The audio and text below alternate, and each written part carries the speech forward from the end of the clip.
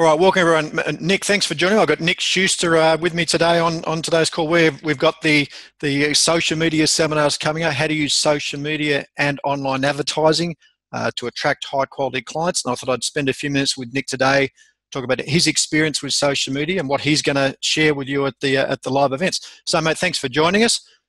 My pleasure, Paul, and uh, great to be here, guys. I'm really pumped about this event. I'm giving you my best stuff uh, I'm really privileged and excited, and thank you to Paul for the opportunity to speak to such a great group of clinic owners as well. Uh, it'll be it'll be a fun series. So, mate, how did you first get involved? Because your expertise is, is very much Facebook and groups and other things. But how did you get involved in social media to start with in your practice?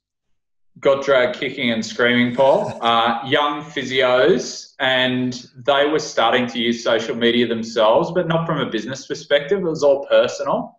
And it was just me looking over their shoulder, just saying, What are you guys doing? What are you up to? And uh, you often talk about your beady business brain. It was the same thing for me. I was seeing these guys and they're connecting with people. And I thought, well, you know, how can I connect with more of my ideal client? And how can I connect with more people who already come and see us to strengthen that relationship? And I suppose I saw what the young physios were doing and it made me interested. So I went and I signed up for a Facebook profile, and I always, I never thought I'd be on Facebook because I thought it was for bloody cat videos and um, taking photos of what you had for breakfast. And I signed up as Nick Schuster, but Nick Schuster was the owner of Scarborough Physio and Health, and so I used it for my business profile. And the only way that I was really using it to start with was posting exercises and stretch videos on some of my pages. Um, it evolved greatly from there, but that's a story that I'll keep in reserve for us for our event. So, mate, what what mistakes do you see now? Now that you've become, you've evolved in this whole thing. You, you've got the Ultimate Physio Group. You've got your own things happening. What mistakes do you see health business owners make now with social media that you you want to talk about on the day? What are you going to? What's their big big yeah, issue? Yeah, so that's a really good question, Paul, because there are so many mistakes, and the reason I know is because I've made them all. So I've been doing this stuff really hard for five years now. I'm literally spending, I'd say, even ten or fifteen hours a week.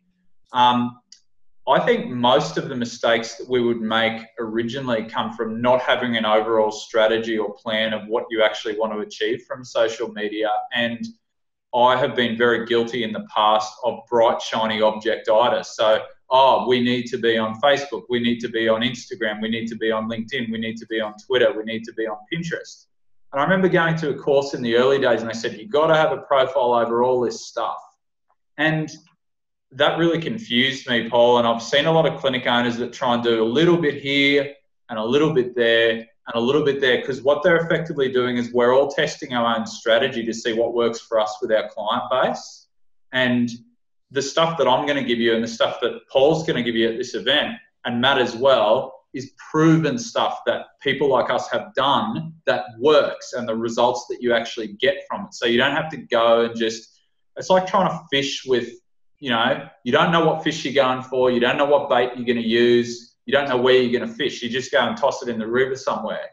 We're going to give you the recipe to actually make this stuff work because yeah, the biggest mistake that I see you guys making as clinic owners is you try a bit of all this, You've got a scattergun strategy, you don't know what you're trying to achieve, you're just doing it because someone um, tells you to or because another clinic is. That's what I reckon, Paul. What, what I love too, Nick, in, in, in the group that you and I are, I mean, your, your Ultimate Physio group, we were talking about your five years experience in in an hour or so. So you're going to try and condense what you what you'd learned in five years into into an hour and a half, and then be there for the day. But that's a that's a pretty cool line, isn't it? Dude, that's going to save some time. And it's and it's hard to have that impact. Like if I could compress everything that I've learned and all the crap that I've gone through in this journey, like none of it's crap. It's all great learning.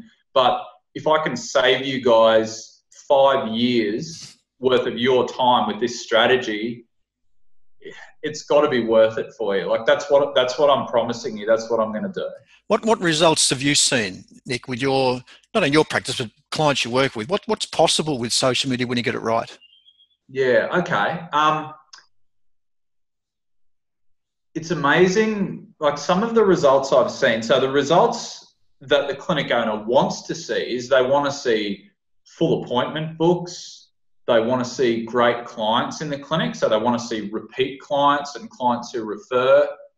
you want to see at the end of the week your, your clinic's brought in some really good dollars. They want to see it on the bottom line. So you would be surprised. Social media can actually produce those three outcomes. The strategy to achieve it has to be really tight. And um, the same strategy won't necessarily work for every clinic, but different incarnations of that strategy will work. So, um, get, what was your original question, Paul? I, was, I was talking about what, what results you've seen because I, cause I know you talk yeah. about how you filled you filled your therapist book with with short notice things. You've done lots of things that have yeah. made really good impact, haven't you? So, so I reckon I reckon the main results when you got your social media cranking you're finding ideal clients from sources where you didn't necessarily think you could find them for.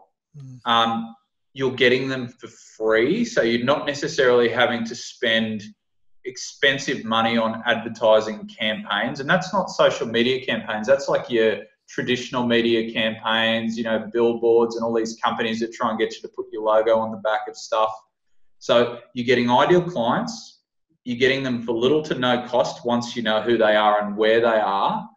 And probably the kicker for me, social media wise, Paul, with my clients and with myself is it's so much cheaper and easier and better to nurture your relationship with an existing client and to find a new one. So our existing client strategy through social media has just gone through the roof. Like we're building genuine relationships with these people my therapists are building genuine relationships with them and they're seeing us in a different light from from a transactional business model they're seeing us as part of their lives i, I love the way you've done nick and that's exactly why I, I wanted you on this seminar series because i wanted someone that had done it from the from the grassroots up and are doing it really really well and i was very clear remember when we spoke i said i don't want this seminar to be a talk fest where people walk away totally confused they've got to go mm-hmm. away with the exact strategy that they can use now that yep. we've all played and done with that works. And and yes. you're going to deliver that, Nick, aren't you?